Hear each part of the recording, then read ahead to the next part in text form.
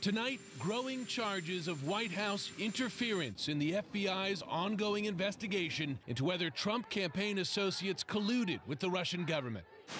The day after the president fired the FBI director, the White House downplaying the importance of the probe. That's a uh, probably one of the smallest things that they've got going on their plate. Some lawmakers, however, are now demanding that the Justice Department appoint a special prosecutor independent of the administration and Capitol Hill to lead the probe. Were those investigations getting too close to home for the president? If there was ever a time when circumstances warranted a special prosecutor, it is right now. Those circumstances? Sources tell CNN that just days before being fired, FBI Director James Comey asked Deputy Attorney General Rod Rosenstein for more resources to devote to the Bureau's Russia investigation, an account the Justice Department denies. One indication the FBI's investigation was ramping up, federal prosecutors issued grand jury subpoenas to associates of former National Security Advisor Michael Flynn seeking business records.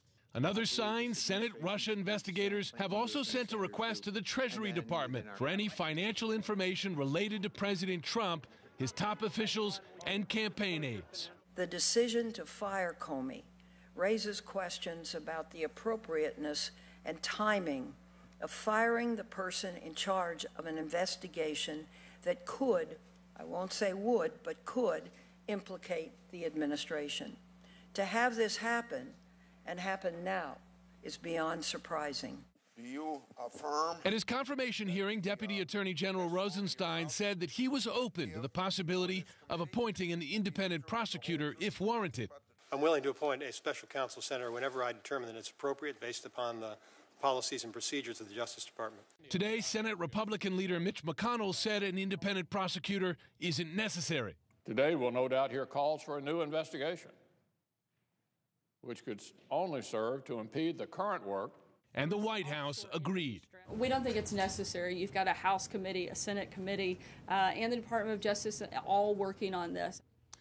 We also heard Sanders today, as the president has done before, say that there is no evidence of Trump campaign or associates collusion with Russia during the campaign, that that part of the investigation is closed. Fact is, uh, I've spoken today and yesterday to both Democratic and Republican members of the House and Senate Intelligence Committees who are now investigating that question, and they all tell me, Wolf, that they are still investigating. That is an open question whether there was collusion cooperation between Trump associates during the campaign and Russian officials, other Russians known to U.S. intelligence, and that includes the Republican chairman of the Senate Intelligence Committee, Senator Richard Burr.